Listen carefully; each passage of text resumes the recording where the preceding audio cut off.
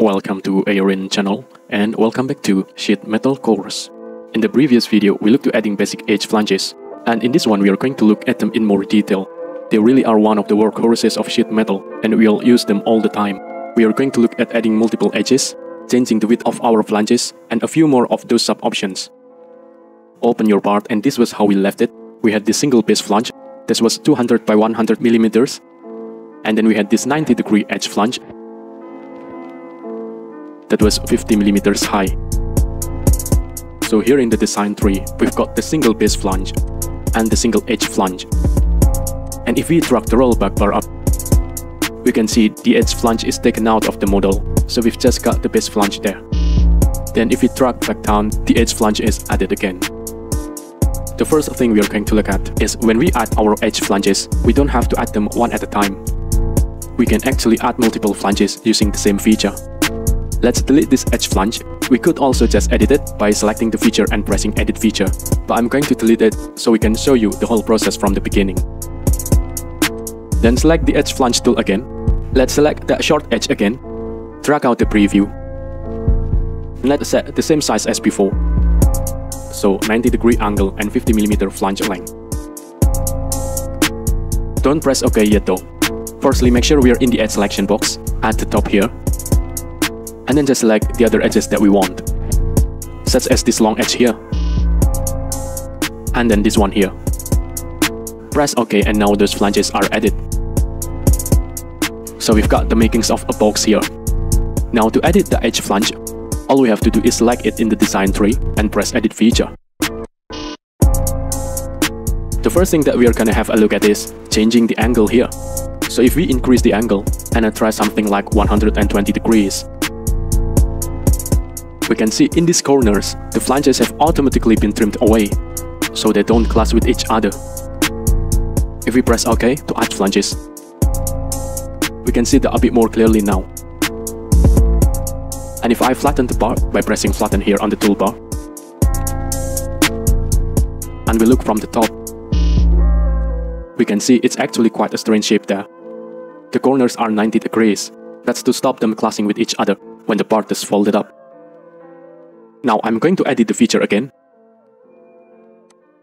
And this time I'm going to change the angle down to 90 degrees. And then just continue reducing it further. We can see as the bend moves outwards, we get an increasing gap here.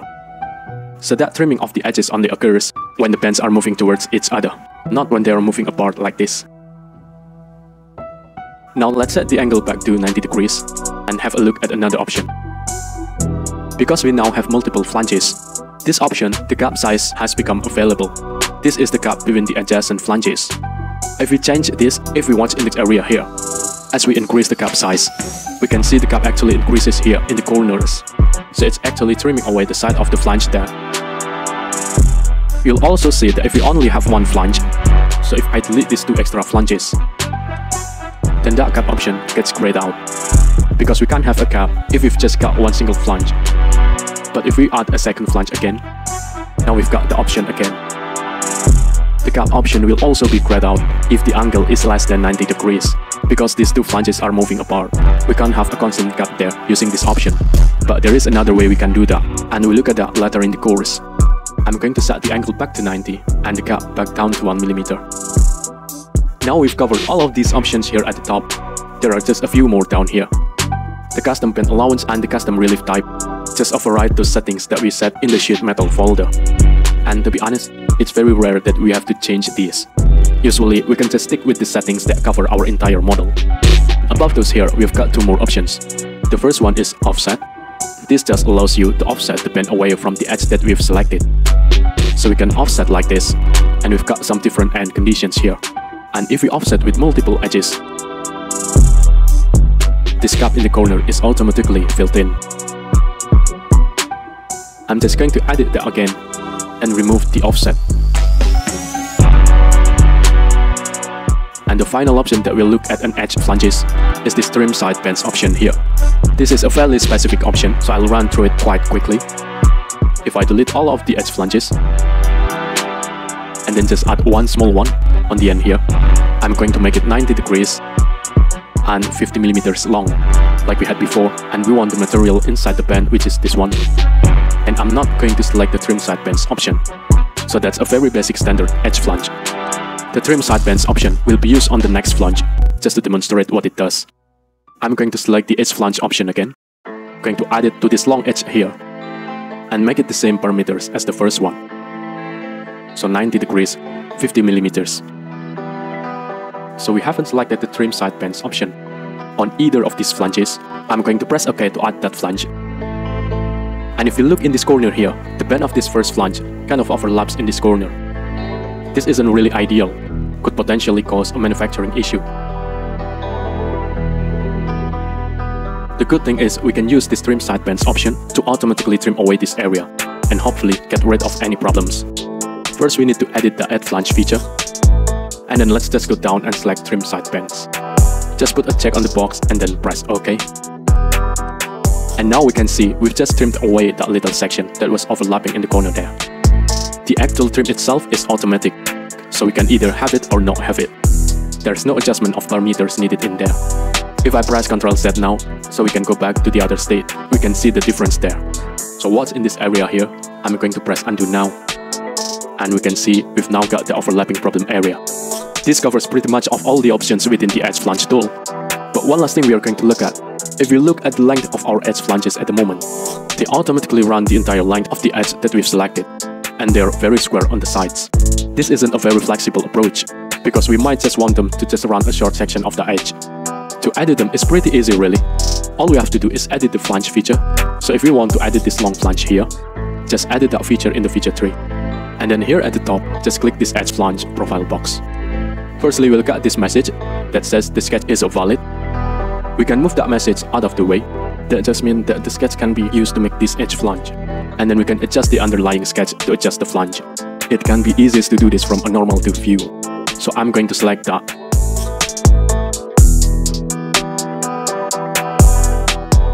And then we can edit the underlying sketch and change the flange. So for example, we can drag the sides in like this. And the message here still says that the sketch is valid. So that means we can use it to make this edge flange. As well as the length, we can also adjust the height. And then as is a good practice. Then as is good practice, we can add some dimensions.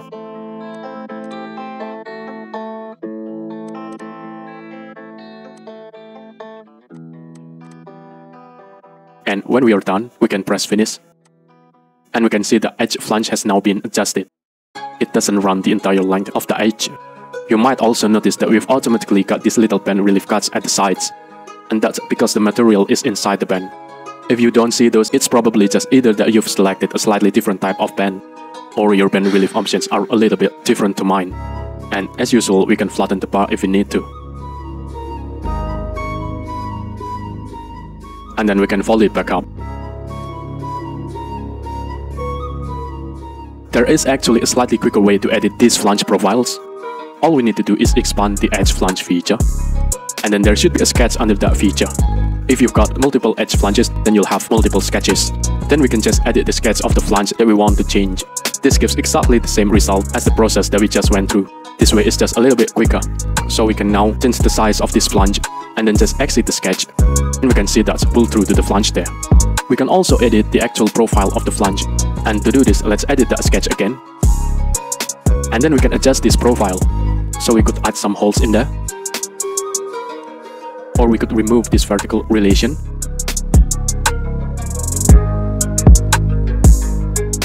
And maybe angle one of the edges.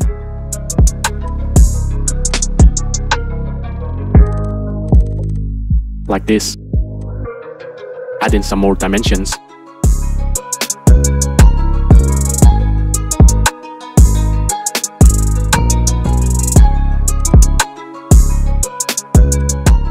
And then when we're done, we can exit the sketch.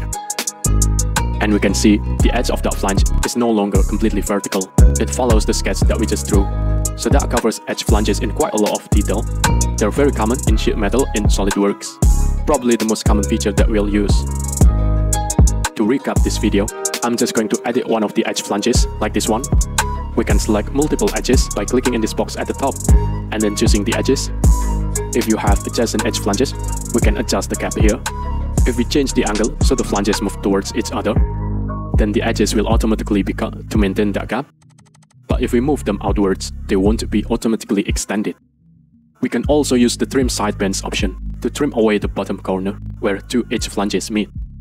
And then finally we can adjust the edge flange profile itself by clicking this edit flange profile box. Or we can just directly adjust the sketches, which are underneath the edge flange feature. If you have multiple flanges in the same feature, then you'll have that corresponds to each of those flanges. In the next video, we'll start looking at some more advanced sheet metal features, and the next one will cover tabs and holes. So see you there. Thank you for watching. Please subscribe if you like. I hope it can be a little helpful and useful.